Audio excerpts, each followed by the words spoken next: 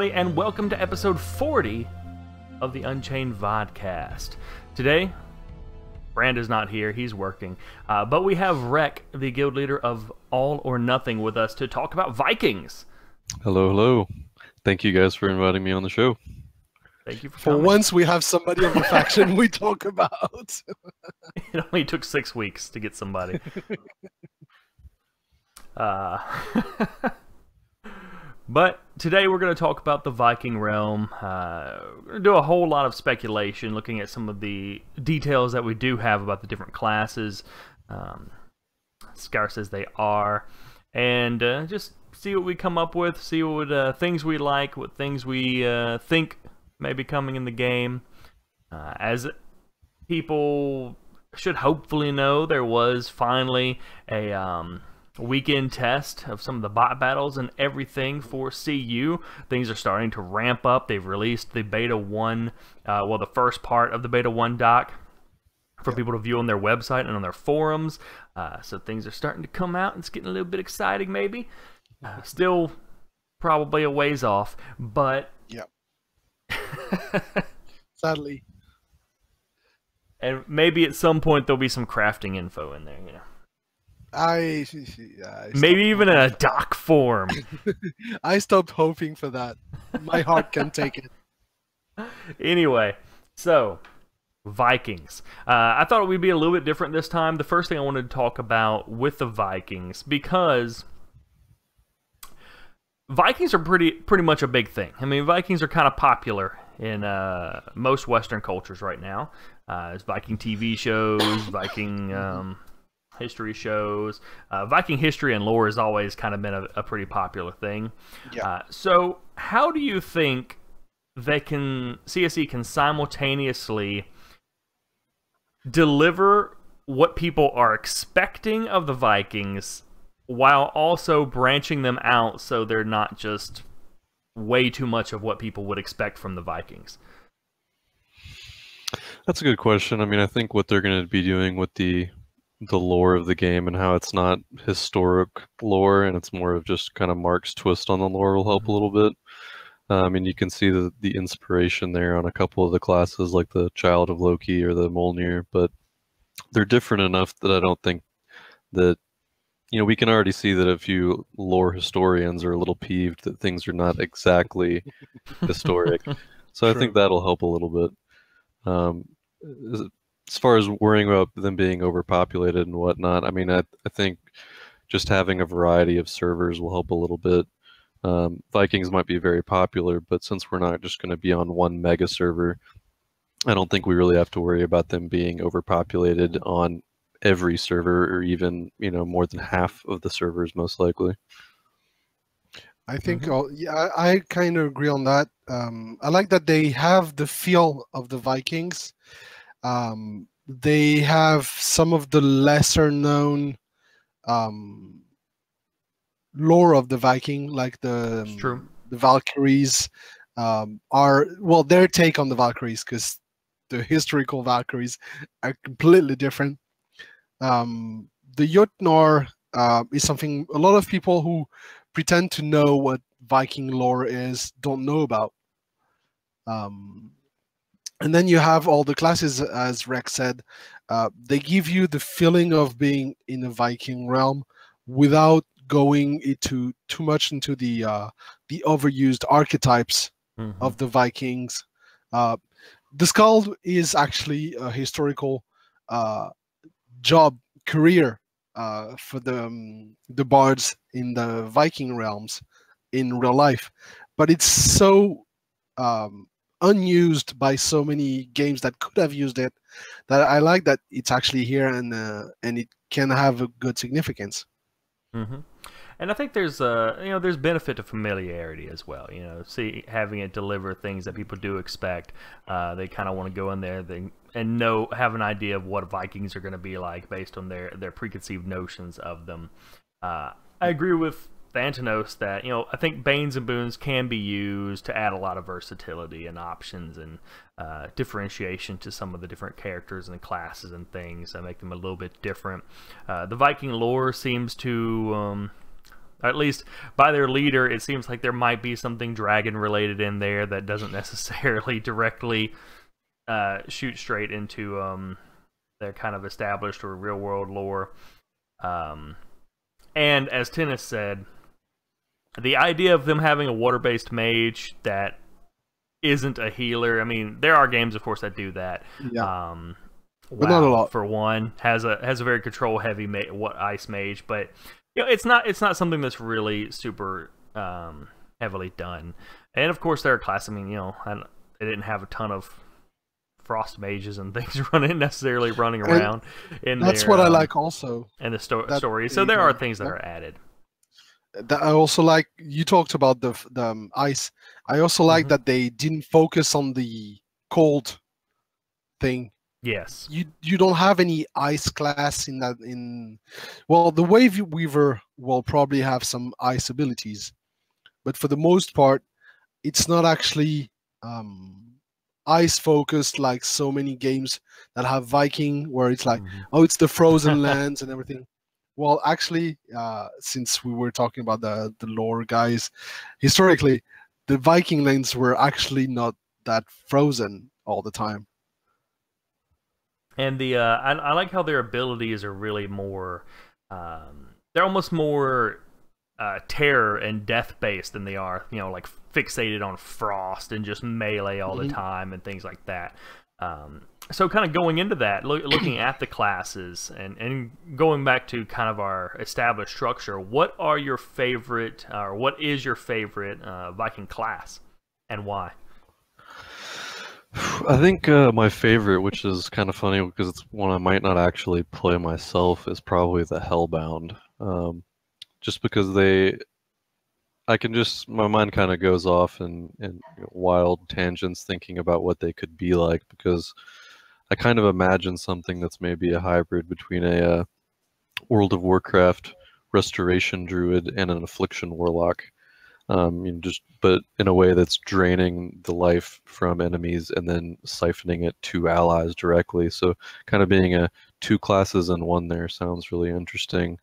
Um, and I just because you know blood is a very unique resource in this game, Mhm.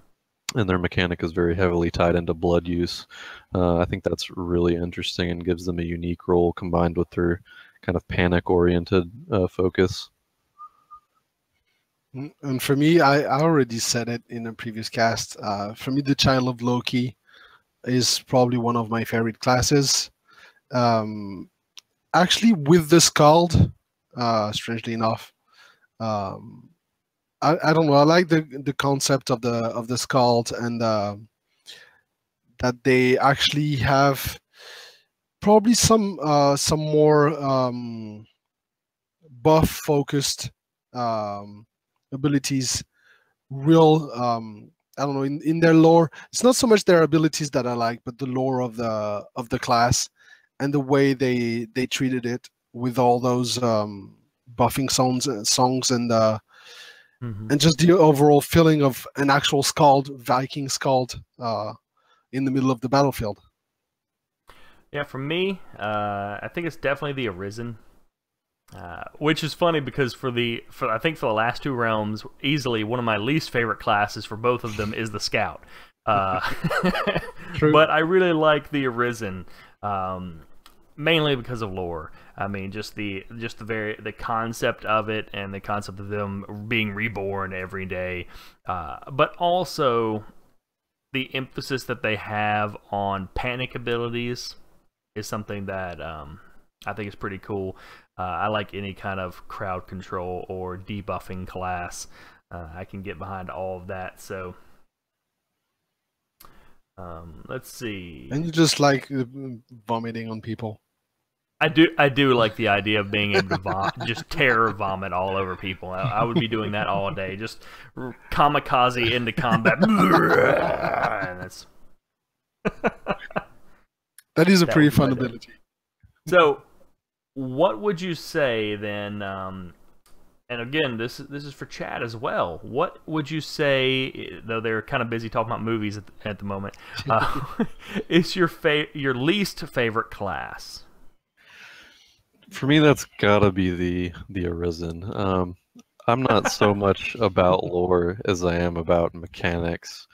Um, and and for me, the Arisen is just the weak link out of all the classes on the Viking side, um, specifically because of them being tied to their tombstone and the tombstone being stationary. Uh, you know, while they've got some very nice benefits um, in terms of you know not having a blood pool that can be drained and having uh, a stronger focus on actual combat abilities than the other two scouts. Just the fact that they can't leave the radius of their tombstone without releasing, kind of going out to a different area, um, and then suiciding again. To me, that seems kind of anti the entire point of being a scout. I kind of wonder how they're going to fulfill that role um, when they have to kind of go out and then immediately limit themselves to a, a specific Mhm. area. Yeah, for me, it's probably the stone healer. Um, not so much the for the abilities. Well, I'm I don't like healers in general. At least I don't like playing them. but I don't know the concept of it. Um, for me, it's yeah, it's different. But yeah, I don't know. It's it's not something uh, I really enjoy looking at the abilities and the the stories behind them. I don't know. It it doesn't strike me as a, any interest uh, in in that class at all.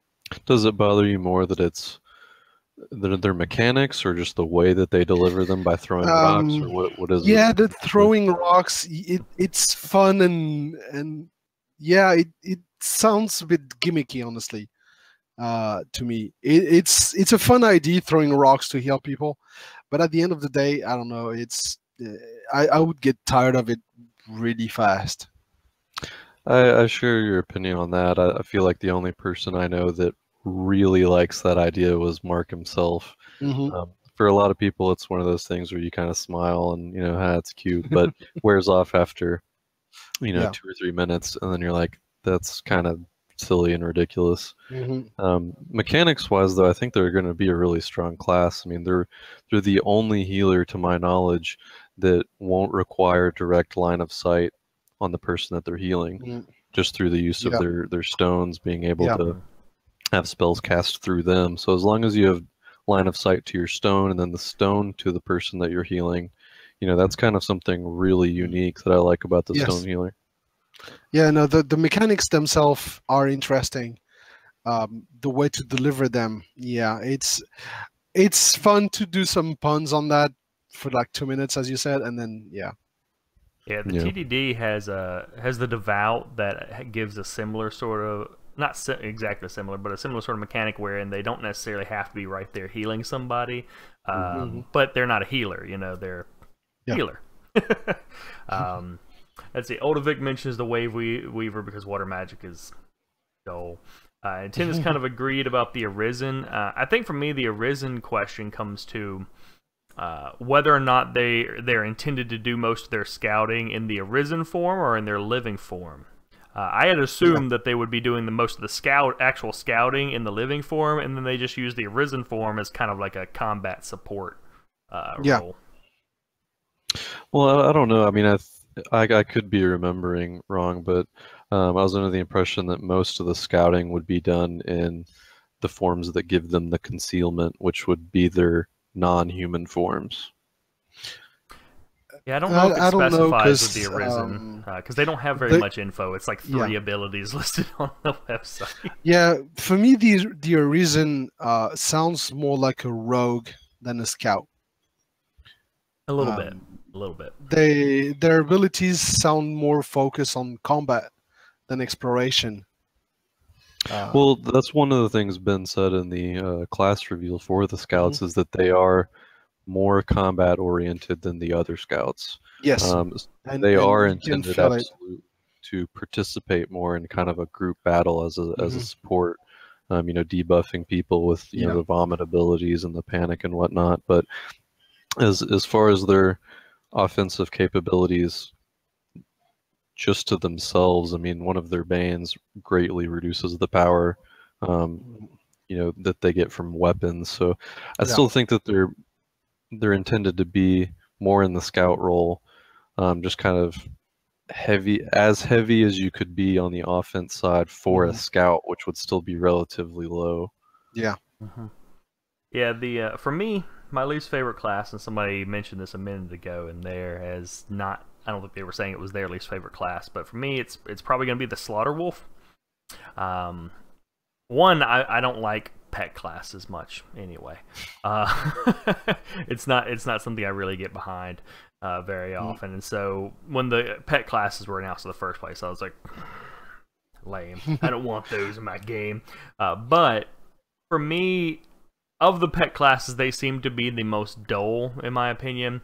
Um, and the most complicated, I guess, just because they have these uh, wolves that they can summon, and they can summon elemental. They basically can summon elemental spirit pets. Okay, well, what MMO doesn't have something that can summon elemental spirit pets? Just about.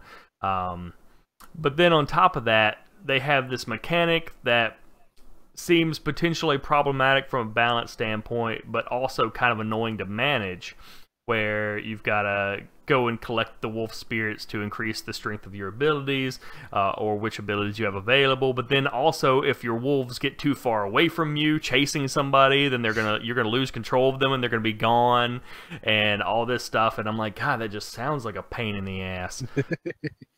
Yeah. They can they can really be. I think they're going to be pretty interesting. I mean, they've got some plus sides too. They're supposed to have the strongest uh, spirit pets out of all the the different Mm. trios there. Um, the fact that I'm not I'm not really sure. I don't remember too much about having to go collect the different spirits thing. Um, but I'm assuming that would be something that you could kind of go, you know, do get done, and then not really have to deal with it too much um, past a certain Yeah, point. too often. Yeah. Um, yeah. What I really like about them is I'm like you, I, I don't like pet classes. But I don't like pet classes usually because pet management in MMOs is usually done very poorly. You have a separate kind of Mhm. thing where you have to target someone and then send them to attack or Yeah. tell them to withdraw. For the Slaughter Wolf, it really sounds like that their uh, components where they summon the wolves are also commands to do an action. So you would, you know, Mhm. summon the Frost Wolf, you would have an enemy selected, um, use that spell, and it would summon them and also send them to do a command as you do that. So the way that they've kind of got that set up um, seems like it maybe saves you a little bit of the hassle that pet classes usually have.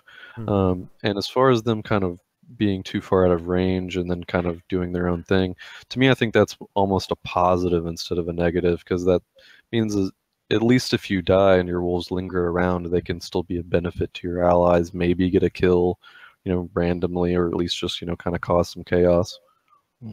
Yeah, I think Yeah, for for- me, what I meant with that being potentially problematic was not so much for the player, but I- it seems like something that should be problematic game wise, uh, both from performance but also um, balance wise. You know, how do you uh, manage how many of these wolves someone can summon, and then if they get out of range, they can summon more, and those keep running around attacking people and stuff. And you know, how what if you have numerous different slaughter wolves on the field? They've all got wolves going everywhere, getting out of their control and roaming around, still attacking their enemies. And um, that's Thing just, is- it just seems like extra stuff that they then have to go. Okay, well, how do we mitigate this so it doesn't become a problem To- with just to random fair, spirit wolves uh, everywhere?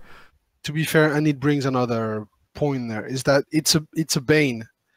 Uh, if it's too much of a pain, nobody will choose it. So why have it in the game?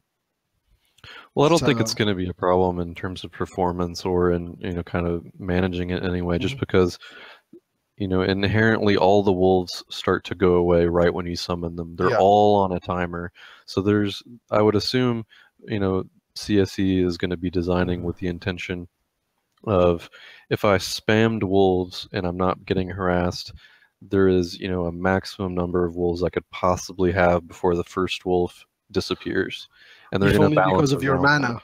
Right, and they're going to balance Mhm. around that. So, I mean, uh, you do have a point where, like, if there's maybe, like, say, hypothetically, ten slaughter wolves, and each of them has uh, three wolves each, um, and then you know nine of the actual slaughter wolves die, you could have one slaughter wolf controlling 30 wolf pets for a short period of time but that's just going to be a short period of time thing before they start disappearing he can't keep that number going um, so i don't really think that that's going to be a big issue Yeah. And um, to stay a bit on the pet class, even if it's a bit out of um, out of context in the subject. The pet Mhm. classes, the way they set them up, is that it's not pet classes. It's just a visual difference on spells. Your pets are not actually pets. They're just spells that last longer than a fireball. What, That's- what, that's what it. pet classes don't have things that aren't spells in the game?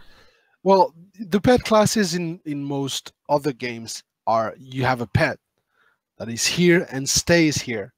All the the cl- pet classes in CU are pets that are on a timer. They don't stay here all the time. You have to resummon them. Uh, they're um, and the the one of the problems they had was that uh, pets are actually physical object. So you have the clipping issue that they don't have in this one. So there are a few problems that, um, for me, also make me not like pet classes. That I don't have a problem with the with those spirit pet classes that we have in CU, where uh, they're they're all going to be on a timer. It's basically casting spells uh, with a longer uh, effect time. Are Well, the the thing- Dread Caller pets not permanent? No, they're not. hmm I don't recall them ever saying that these were necessarily temporary and had to be resummoned, but I mean, I knew the slaughter wolves. They're specifically um, and explicitly timed pets that the duration goes down, and then the TDD pets are more like just you know missiles basically. Um, yeah. But I, I had not rem- uh, like, really known that the Dread Caller pet was not permanent. as far as I remember, they're all. Um, I, I don't remember. I think it was Ben who was saying, or Mark, who was saying that they treat the pets from the spirit classes as manifestation of a spell, not an actual pet. Which is I why they as well. actually, yeah, which is why they actually went for the those spirit pet classes rather than not having any pet classes at all. Well, I wonder do, how that's that going to work for the Dread Caller though, because the dread Yeah. Caller has, you know, the different types of pets um, Yeah, that he well- can summon, and some of those wouldn't they use their own abilities? Like, how does an ability, which is not a pet but an ability itself, cast more abilities? Well, that's Um, the um, the, you know that my uh, my understanding of it was that uh, one, the reason they made them essentially abilities was to make them non-physical entities. You know, because of the clipping Yes. issue and the performance issue. It wasn't necessarily that they wanted them to be temporary. Uh, they may have made them temporary, but it wasn't necessarily that we have to make them disappear like a spell would. They wanted them to be able to not have the clipping issue and not have Yes, the um, definitely. you know the collision issues. issue and you know to to um i forgot what the other thing i said was um but also you know they have set up abilities uh, when they were talking about the the new habilitation rehabilitation system, Mhm. uh, the new ability system, they were talking about how they've set up abilities that can fire off other abilities. You know, you can shoot Yeah. a arrow and it hits, and then it causes an another effect or does something else uh, off of that, and then that can have an effect, and so on and so forth. Um, so I I would assume that part of that would enable the pets to exist as abilities that can then activate their own effects and abilities and things as yeah needed. and and the pets are very focused uh in in terms of uh their uses especially for the Dread Caller is it specifically says great sword abilities. So you can have a certain set of random abilities that this the pet is going to use. Uh, the other one is shadow magic. So you have just a, a set number of spells the the the pet is going to automatically use. So those are uh, you don't need to control those pets. You summon them and then either you control them or you just send them away. And you you can have this the um, uh, the slaughter wolf can have several pet at a time. We're not sure that the other ones can as far as i can remember. That's true. the Um, Dread Caller I, if i remember correctly the Dread Caller can only have one type of pet at a time I'm pretty sure. so yeah. Right, unless they're using, uh, I think it's either their death curse or divine intervention. Yeah. And uh, and Tennis brought up a good point that you know the part of the other purpose of making them spells is that they then affect the air system as well, uh, Mhm. instead of being uh, people. I, th- I think the, the opinions I've seen of the pet classes, and we're, we're kind of going long into pet classes, but uh, the the I think the opinions I've seen in pet classes kind of depends on the individual person by and large. Like some Yes. people really like some people who love pet classes seem to really like that tedium of having to summon the thing and then go you go there and you do this Yeah. and you use this ability and so on and so forth. They love that. I hate that. The only game I've enjoyed pets was in Champions Online, and that's only because you could summon robots that just floated around behind you and did something passively. Like I could go Sentry Turret, Heal Bot, heal me, and I walked around, and it was basically just a buff that followed me around. I got no time for commanding uh, pets. Yeah, no, I'm not a big fan of pet classes either. All right, so it was a good discussion, uh, but let's move on to class synergy section. Uh, what types of class synergies do y'all expect to see uh, or think might be might be a thing in the Vikings? Because I will admit, I was kind of hard pressed to find many. Uh, well, I mean, the most obvious one is probably the Molnir and the uh, Wave Weaver. You know, kind of soaking people and then Yeah. using the lightning abilities. Um, Mhm. hmm I think besides that, it's it's a little more subtle. We know that the the Shadow Walker can uh, debuff um, enemies for the kind of the rest of the Viking melee train, which will be very useful. Uh, the Child of Loki can suppress uh, snares on uh, a defensive target.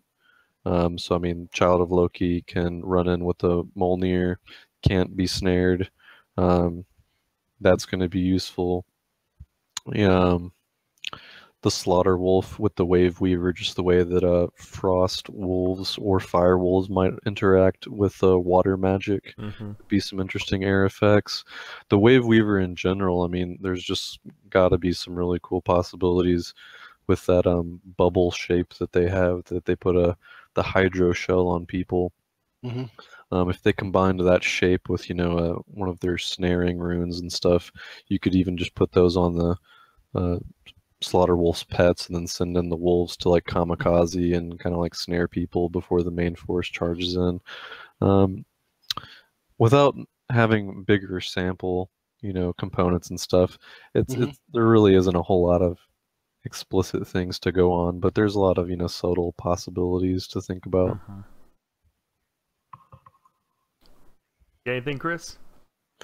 I I don't see a lot of well, I, as you said, the Wave Weaver, and as um, I think it was Tennis saying about the um, the Mjolnir and the Wave Weaver, not just Mhm. with the, the pulling them, but the the air system with the the water and the electricity, uh, being able to do some sort of AOE damage. Mhm. Um, The Slaughter Wolf, I don't see a lot of synergy with a lot of things, honestly. Uh, in terms of the Slaughter Wolf, Just their Yeah, elemental. Get I a think howl right, that, that it can be uh, yeah, pretty useful. There, yeah, there are and a then lot the, of the panic skull, the Skald with uh, the Winter Shadow probably. Um, since the Wi- Winter Shadow is probably the most mobiles of the mobile of the um, archers, uh, giving it even more uh, mobility, Mhm. uh, especially since they're um, physics based and there's a specific buff from the skull to the physics based damage, while most of the other damage uh, is done. The Mjolnir and the Wave Weavers are magic based.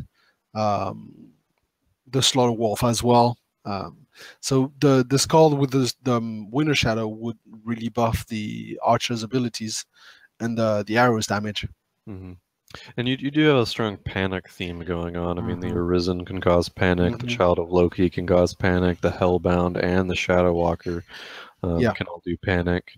So, I mean, that's that's going to be a big one right there. There's a little bit, I don't know if you'd call it a synergy, but I mean, the Child of Loki can cause poison damage, the Hellbound can siphon blood.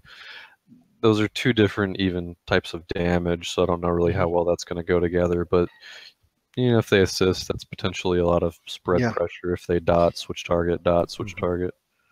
Yeah, the Yeah. one I think the two things that I mainly noticed was one, the uh, the panic, uh, number of classes that cause panic. Also, a couple classes causing crowd control abilities.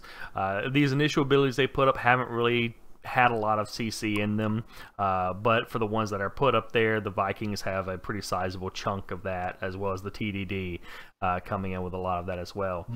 Um, and so, but but I kind of agree with, with what you said earlier that it seems like a lot of the a lot of the potential synergies are going to be a bit more subtle. They're not. They're perhaps not quite as obvious as with the Arthurians and the TDD, where some of the classes are just straight up like, I straight up buff his damage, uh, mm-hmm. for, um, just about, and uh, that that has kind of made me wonder if perhaps uh, what they're going for with the Vikings um, might be, uh, and not saying this is necessarily 100% the case, but uh, might be that they're going for more of a uh, setup with them where perhaps you know the Arthur- we, we talked in the Arthurian segment we talked about the Arthurians being very preparation based like we feel mm-hmm. like you've really got to have your your team comp and your plan set out ahead of time know what you want to do and who you're bringing with you and I wonder if the Vikings might be on the opposite side of that spectrum a little bit where perhaps they're wanting people who are going to be need to focus a little bit more on managing the managing their groups as a, as opposed to spending as much time preparing and making sure they have exactly the classes that they want in every group. Well, that's one thing I like about the Vikings is I think that they're one of the most flexible realms. I mean, when you when you mm-hmm. count the melee and ranged classes, uh, you know, TDD only have three melee classes once you get all of the melee in the game. Um, Arthurians, I think, are very evenly split, you know, between close mm-hmm. range, medium, and yeah. long range. Uh, Vikings are very heavily melee oriented. I mean, you've got the the normal three, the heavy fighter, the shapeshifter, and the stealther. But then their support is capable of meleeing, and their archer is capable of meleeing. So you have five. I think that's one more than even the mm. Arthurian. Um, mm-hmm. So I think their groups are actually more flexible because you've got the the Winter Shadow that can be kind of both, and the Skald, which counts as a melee, where the other support classes, you really wouldn't count them as anything except, I mean, you might count a mm-hmm. Dark Fool as a ranged class, I guess. Kinda, uh, but not really either. Yeah, but that then that gives you more options on how you build mm, a group. Yeah. I mean, you could mm-hmm. build um, a couple mages, a couple archers, and those archers can be either or, or you can do a full melee group and you can include something that's not typically considered a melee that's still capable of actually going in there and fighting. Yeah. So, you know, yeah, I don't don't really know if they're going to be that much harder to group build.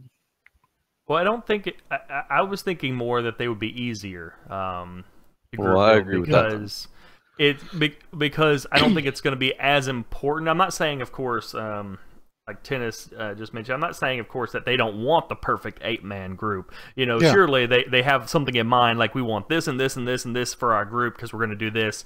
Uh, but I'm thinking maybe for the Vikings, it's not quite as important. Like if they have to swap out something to mm-hmm. grab some random person or whatever, you know, it's not going to be that big of a deal because, well, hey, you know, they've they've at least got a sh- their archer even still has a shield and a sword can stab somebody. Yeah. So yay, why not? And um, they, they are that, the realm that has kind of the most survivability in each of their classes mm-hmm. as in they can hold their own um, yeah. even at their less optimal range basically. Yeah, I think it kind of fits with the with the style of the realm, with the lore mm-hmm. of the mm-hmm. realm and everything, because they're yeah. Vikings. They're kind of portrayed as barbaric, and that is kind of a barbaric notion that you're not going to necessarily have to be in regimented groups where everything mm-hmm. has to be precise. You can go, no, nah, we can.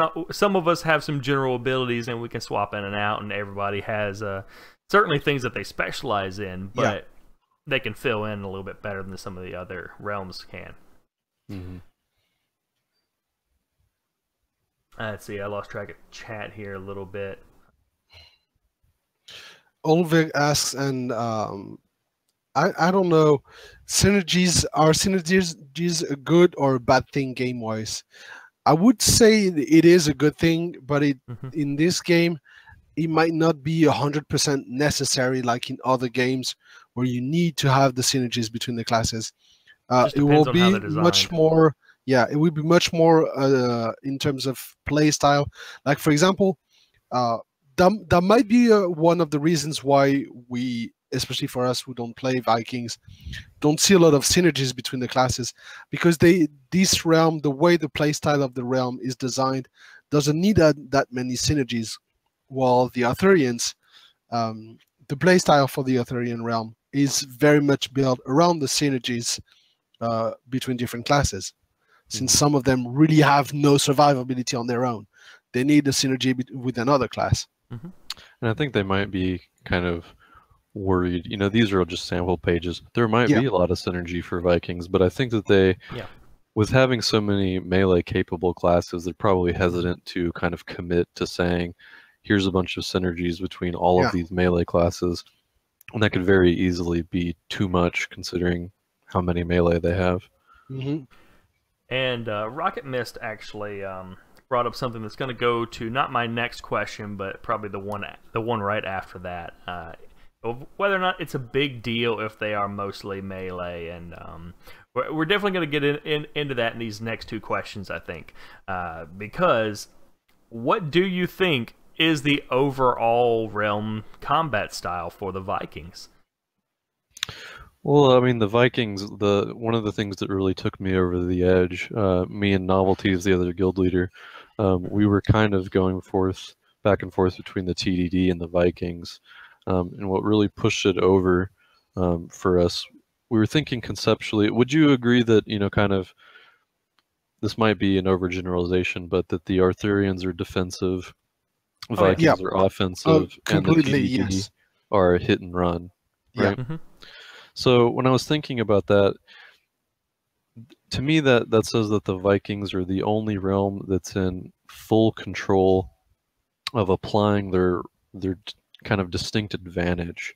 Um, and what I mean by that is, um, if you know I'm I'm a Viking group, um, it's up to me to attack you in the correct way. But if you're an Arthurian group, and I can see that you're defensively set up, that would be silly of me to attack you Yeah. when you're playing to your strength instead of mine. Likewise, if we come across a TDD group and they attack us and then kind of pull back, it's within our power then to not chase them and play into their strength again. Mm-hmm. But as the TDD or the Arthurians, if you get caught off guard and attacked, you've been caught off guard and attacked. Like that that is the Viking strength. There's no there's nothing you can do at that point if you've been attacked because that's what they do. They attack, boom, advantage gained, done. Mhm. I I wouldn't go as far as saying that one-sided, but definitely if the Vikings attack before, for example, for between Vikings and Arthurians, uh, if the Vikings attack before the Arthurians have been able to set themselves up uh, and ready to take on the charge, they will have a huge advantage. The Arthurians uh, might be able to recover from that, uh, Right, but the. Vikings will have an advantage. Definitely, yes. It's just Uh, the only realm that I thought was in absolute control. You know, Vikings can certainly be caught off guard, and you know, there's nothing that says an Arthurian group couldn't uh, attack a Viking group uh, by surprise and have a huge advantage if they did so. But I just I wasn't really comfortable with the TDD group kind of being a hit and run focus thing, because you can't make someone, you can't force them into a long drawn out fight like you might want. Um, and as a an Arthurian, I wasn't really excited about the idea that we would only be at our absolute best in a, in a kind of defensive situation where we can kind of set up and stuff. I wanted something that could be a little more spontaneous than that, maybe something that's able to roam a little bit more freely than that. Yeah, the um, I, I think with the TDD, I think you can kind of force people into drawn out conflicts if they're mobile enough. You know, if they're able to Yeah. engage and disengage enough. Uh, but that brings up to um, uh, part of the strategy for the Vikings that I noticed as I was going through all the classes and look at their abilities and everything. And a big part of what st- struck out to me that I hadn't really noticed before is uh, previously I was looking at the Vikings and going, okay, they have all these. They have like some speed. They've got mobility. They've got some. Even their melee classes have some a little bit of range to them and everything to engage people. Uh, and they, but even, but their ranged people even have melee abilities, so they can get in Mhm. there, get in melee, hit you, and they're very offensive melee focused.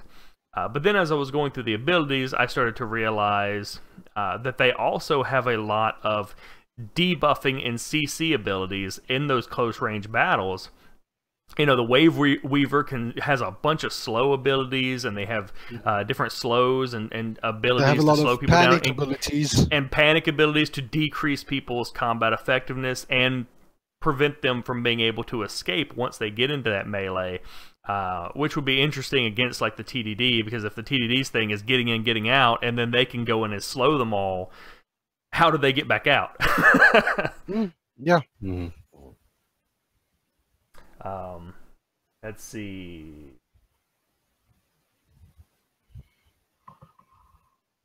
Just checking chat real quick, uh, but that does go, you know, into the next question, uh, which following uh, really the same trend we, same uh, question we used for the last couple episodes, which is uh, for the Vikings. How can they break outside of that? You know, we have to be offensive melee. Are there any ways that they can break out of that mold and do something a little bit uh, differently and still do well at it? I mean, I think that's we're not really going to be able to answer that question until it probably beta two. Um, I mean, maybe they could do something crazy using camo and kind of baiting people. Um, kind of until we really know more about the maximum ranges of the Mm. the mages and the archers relative to the other two realms. Um, I don't really know if I could answer that. Um, I believe it was said on one of the uh, either the archer or the mage class reveal that while you know the Arthurians have the longest range um, and Vikings the shortest, that the ranges would still kind of fall into a certain spectrum. So like even though a, a water weaver would be quote short range, it's still short range for a mage, which is still long range. Yeah. Exactly. So how how much of that is actually going to impact their ability to you know play to different kind of strategies and tactics? I don't know. I don't know. We'll just have to see. Yeah, Tennis mentioned, um, you know, being able to rush in uh, using more of a kiting style. Uh, for me, the one thing I did think of is a lot of their classes have survivability. Um, they don't really seem to have like any one class that's tank, you know, tanky like the uh, you know, like the Black Knight or anything. Yeah. Uh, but a lot of their other different classes have survivability. Their bard can actually suppress wounds. Um, and also with the crowd control effects of their mage, which again, as you just pointed out, their mage is the short range mage compared to the other mages, but still had still compared to every other unit, that's a pretty long range. long range. Yeah. Um, so I could see them as, and then, then on top of that, even their melee units have some of their melee units have a range attack. Like the Mjolnir can throw his hammer and everything and hit people at kind of a range. Uh, so what I noticed of that is they have a versatility, but also you know they're really powerful up close, but they still have extra kind of uh, medium range power uh, and the CC. So it seems like what they could do for like defending keeps is instead of you know the Arthurian approach where you just form the line, you get here with your long range shooting, and you try to hold them there. Uh, instead, they almost have like an incentive to kind of allow people into the keep, hit them with all their CC and everything as they come into range for that, and get into that medium range where all their units can kind of use ranged attacks to hit things uh, to soften things up as they're kind of funneling in and then engage Yeah. uh, to give them then coupled with you know the survive extra survivability of many of their different right classes uh, that might enable them to have kind of a um, I guess a a slowing and and whittling down approach for a for a defensive combat when you're talking about like sieges. Mhm. Yeah. You see that a lot in other games too, and and uh, Warhammer Online, it was Mhm. highly effective to, you know, you're hold, hold up in the keep. If everybody gets kind of bunched up and just kind of gets pretty stagnant, um, you know, especially in this game where you can build multiple exits to your keep, you just kind of leave, go around the back, get a little bit out of their clip range, and then come and attack them. And if you need to, retreat right back into your keep. But you don't have to, you know, just sit in the keep the whole time. Yeah. um, really as anybody. But that would, like you said, especially be good for the Vikings. Yeah, I think it's and it's kind of similar, I think, to what we said about the TDD as well. Um, uh, about the ability to kind of root things down and um, use a bit more of a.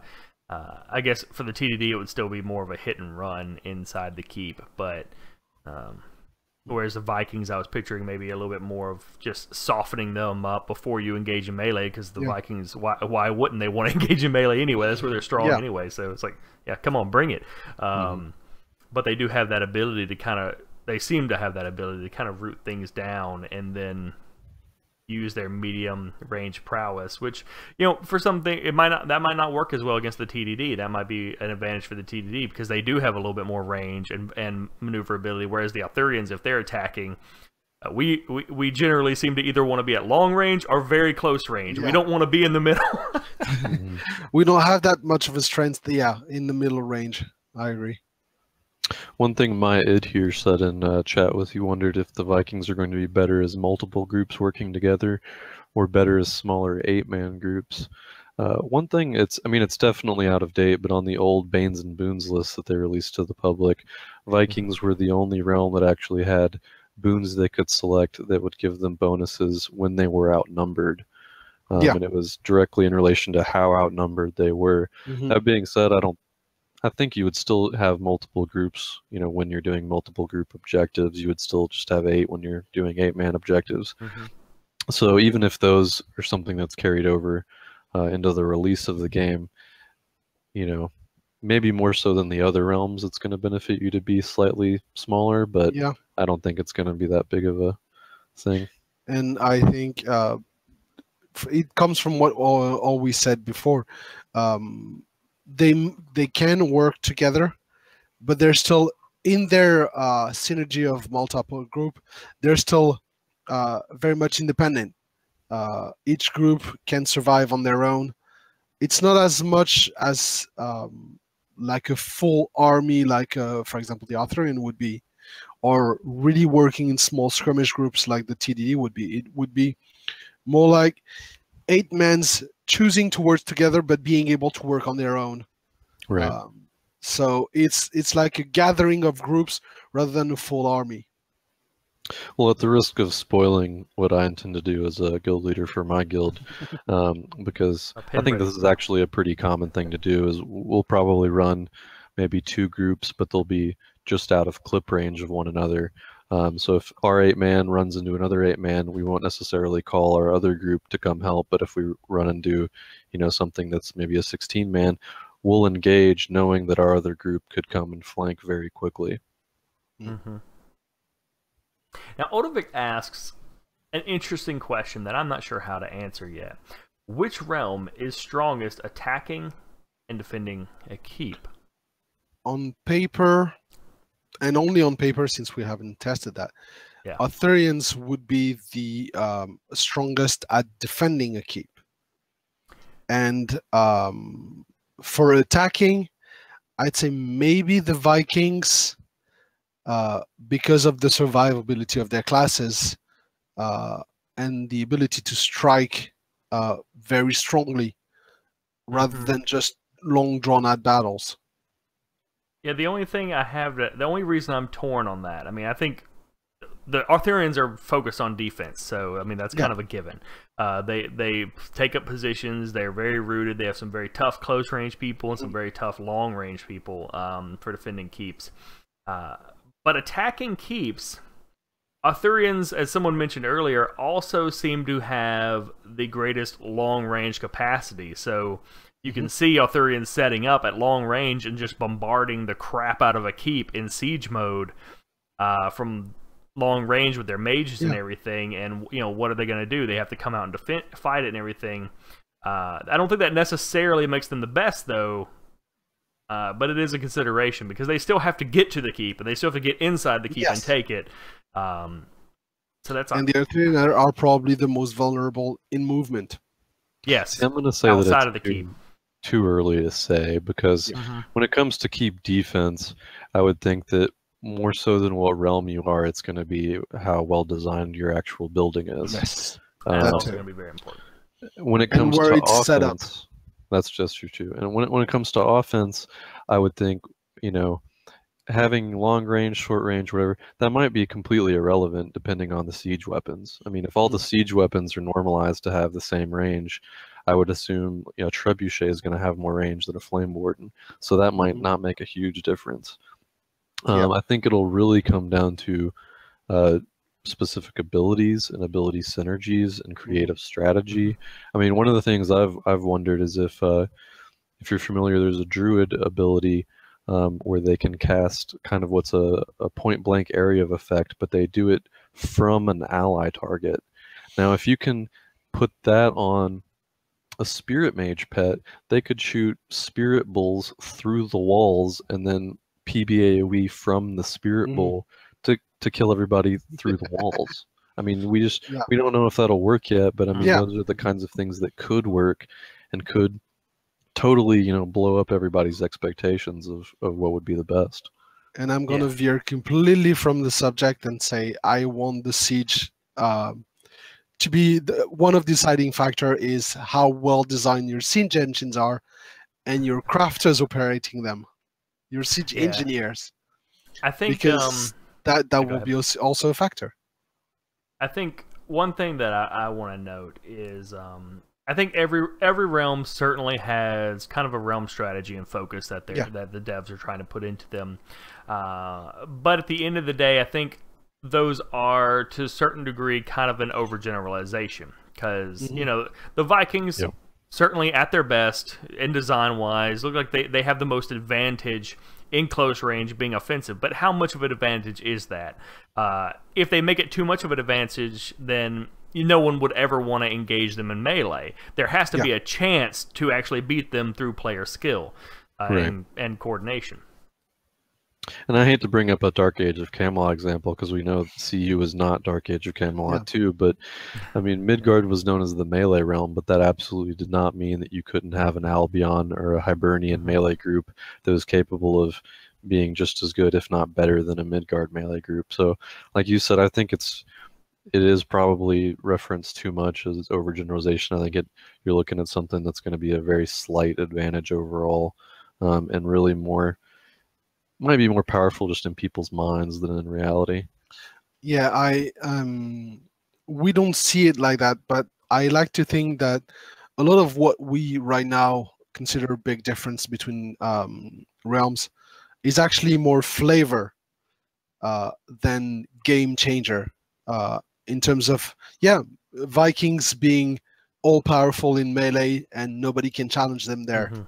Uh, it's more like yes there is there are slightly more powerful and they have more options in that kind of situations but that doesn't mean that the other realms don't have any chances of competing against them and yeah i, I like the idea of it coming down to player skill And I Mhm. think the um, the biggest example of this is like the TDD.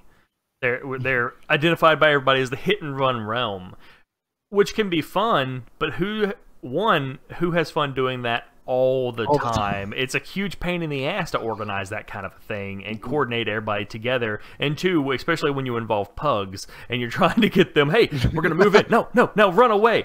Uh, it, you, you don't do that all the time. So they have to still be able to fight toe to toe with groups, and they have to also be able to fight at range.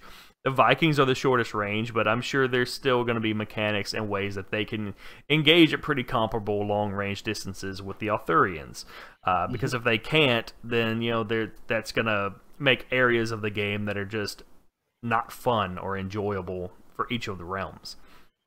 Yeah, and and also a huge disadvantage for some of the realms, uh, because knowing and that's again my take on the game, but knowing how the gathering of materials and how game changer having materials to craft is gonna be, if only Arthurians that are good at setting up defense and, and hunkering down can hold a mine for long periods of time to make it profitable to gather your materials.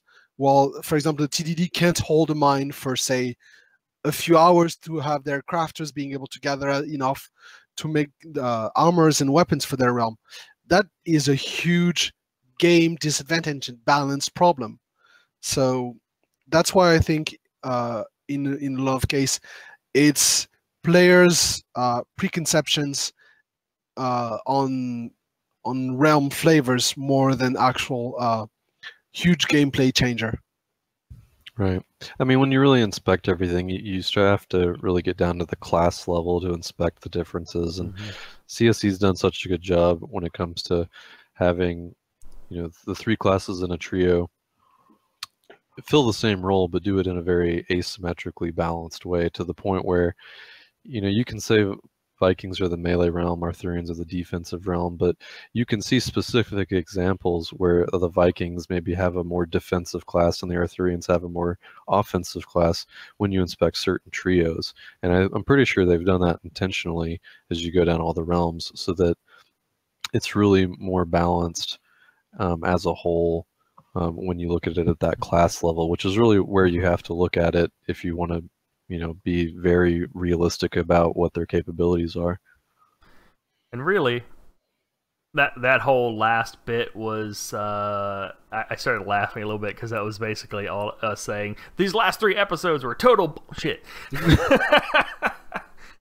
I, No, and really, large because it is. there I mean, are differences. we do a lot of speculation on here. Yes. Um, and there are still clear differences yeah, in for sure. in the way the the characters are going to get are going to be played. It's more the uh, overgeneralization of the realm hmm as a concept rather than the classes themselves Yeah. uh, that is probably going to be less relevant than we than not just us actually most player think Yeah. So I guess my last question here before we wrap up is um, same one we used uh, that I think Brand brought up on the last two streams. What is there any class that you for the Vikings you would steal from another realm uh, to replace them? I would probably steal the Wisp. Um, I think that I mean just replacing the Arisen would be a wink weak link would be really good. The Wisp just has such uh, interesting capabilities by having the lantern able to be carried by uh, another you know realm mate, being able to set up you know because their their Wisp form decays over time, but they can rest not only in their lantern but in another Wisp's lantern. Mhm. Um, I have this interesting idea of setting up, you know, maybe like a waypoint system of multiple lanterns, so that you can travel very far, much farther than you could as a singular uh, Wisp, not working with anyone else. That to me feels like it would be much more effective fulfilling the the role as a, a realm scout than the Arisen would. Besides that, you know, I, I actually really like the empath. Um, I think it's very interesting, and you know, probably like everyone else, I think the red cap is very cool. But those those would be the three, probably in order. um, for me i don't plan on playing a viking so Yeah. i wouldn't steal from other realms to add to that but as i said before uh, i steal this child of loki from the vikings and put it in the arthurians uh, and i would actually um, uh, swap for the uh, enchantment knight to the uh, to add to the vikings I I, very much don't want the enchanted knight. well, you can keep him. We don't want him. I did consider that uh, just because um, the possible added kind of stability and still the, it still has the versatility uh, kind of thing going on. Uh, but for me, and I would I would never actually propose this deal because uh, I would not want the Vikings to have this. um, but if I were the Vikings, uh, at least for and, and of course this is I'm a bit biased because I want to play Arthurian, uh, and it's an Arthurian class. But I think I would want to steal, actually want to steal the Blackguard, um, because I could see the benefit. The Blackguard is essentially like the longest range, is the longest range archer class, and I could, even though they're very squishy, uh, I could see the benefit of having that sort of range capability added on to the Vikings and their mobility. Uh, as opposed to having kind of a hybrid archer class with some melee abilities. I mean, they already have several classes that can kind of do that. Even their scout can do that. Um, so for me, I could see kind of having that extra long range capability added in while they're charging into the group. The arrows are just flying in. And Olvik has a good question I wanted to bring up also. Um, well, not the way he did, but asking about the two missing races, what you were hoping to see as the two missing classes. Before adding more classes, I'd like to to ask them to fill one of the races um, that I actually um, really like the idea of, but we have no, absolutely no clue on, is the Ulfhednar. I would like them to actually start building on that character because right now all we have is a shadow and no. well, they have they have is. teased little pictures in the uh, newsletters recently. Yeah, but it's it's still not as developed as any of the races in any of the realms right now. Right. Right. Yeah, I- Like even just a becoming story would be nice. Yeah, I'm always fussing about the lack of Sturm stuff. There's no becoming story. There's, There's no, no becoming story for either, yeah. There's just pictures. And I'm like, come on, give me Yeah. some Sturm info. And then people are like, well, the Ulfhednar don't even have a picture, man. Yeah, they, they have one concept art. That's it. Right. And at least the Sturm are already in the game. They're already in the tests with the butt wings. with the butt wings. All right. Well, uh, I want to thank everybody for coming out and hanging out with us. Rec, thank you for coming and hanging out with us. Yeah. Well, Um, thank you for having me. good to have Viking viewpoint on these things. Uh, Mhm. Everybody, thank you for coming. We are, of course, going to be back in two weeks with episode 41. This one will be a particularly special episode. We're going to talk about game lore. Uh, we're going to take a look at Camelot Chain lore, and if everything works out correctly, we should have a very special guest. Uh, Max should be on here with us to talk about the game's lore. So, prep your lore questions if you have anything you haven't already Yep. asked. Uh, we're gonna we're gonna uh, put some things together ourselves and hopefully talk about you know areas of the lore we like, uh, areas we uh, are curious about, and all that kind of stuff. So, thank you all. Hope to see you again in two weeks. If you're on YouTube watching this video later on, like, subscribe, all that kind of good stuff. Um, otherwise, we'll see you on two weeks. Thank, thanks again, Rec, for uh, being actual one of the leaders of the other realms uh, showing up to the cast. Yeah. Thank you for having me.